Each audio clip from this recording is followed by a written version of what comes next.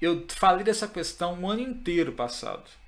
E na última aula de revisão, no cursinho que eu dou aula aqui em São José, um dia, dois dias antes do Enem acontecer, eu falei desse tópico. Falei, gente, você tem uma cadeia que tem um, um composto colorido orgânico, o que, que geralmente ele tem? 101. A utilização de corantes na indústria de alimentos é bastante difundida e a escolha por corantes naturais vem sendo mais explorada por diversas razões. A seguir são mostradas três estruturas de corantes naturais: a bichina, que tem no urucum, o licopeno no tomate e o beta-caroteno, que tem em cenoura e laranja, que é aquele, a cor laranjinha que tem nos bichinhos. Bichinhos, entenda, é, legumes e verduras e frutinhas.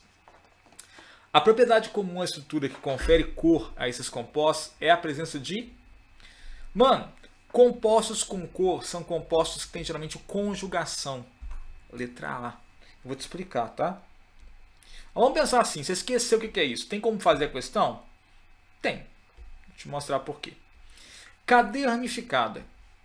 Galera, você conhece alguma coisa que tem cadeia ramificada que não tem cor? Eu conheço eu conheço algumas coisas. Por exemplo, é... deixa eu lembrar de um cara aqui interessante. O butanol não tem cor. Ó, desculpa. O 2-metil-butanol não tem cor. Tá? Tem vários compostos orgânicos que não tem cor.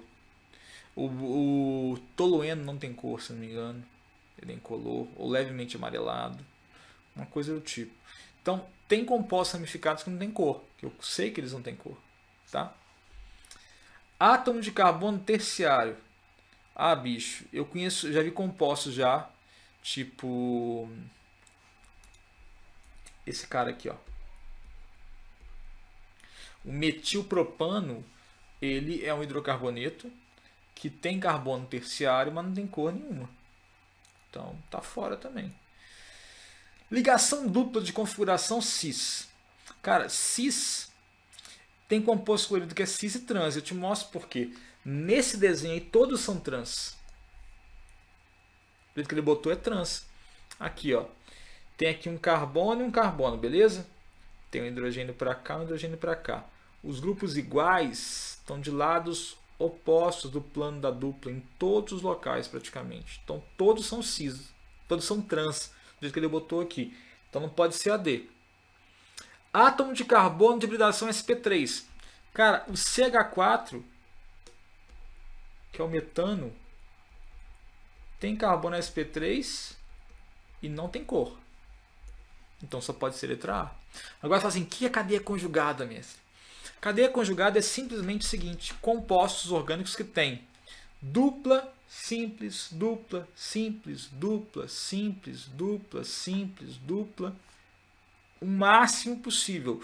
Quanto mais dupla, simples, dupla tiver acumulado, conjugado, maior vai ser a possibilidade de ele ter cor, tá?